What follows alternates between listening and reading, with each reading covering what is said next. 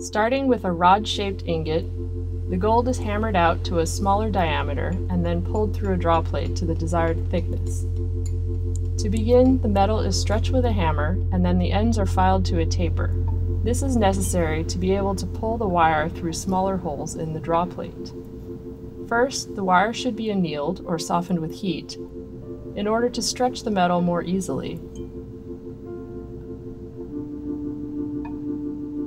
Wire is pulled through increasingly smaller holes, becoming thinner and longer.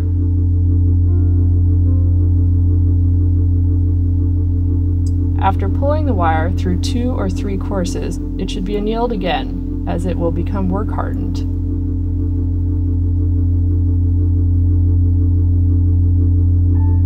This continues until the desired thickness is achieved.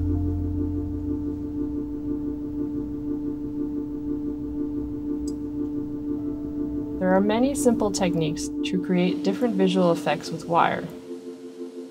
Wire can be twisted by doubling over the wire, fixing one end in a vise, and turning the other end.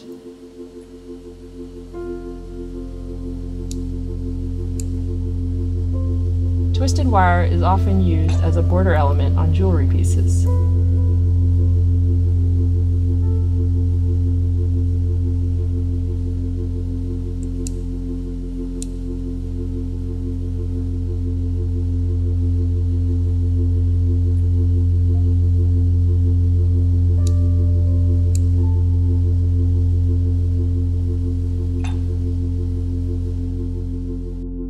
Striking wire with a chisel creates a pattern on the surface of the wire, which is often used to mimic granulation.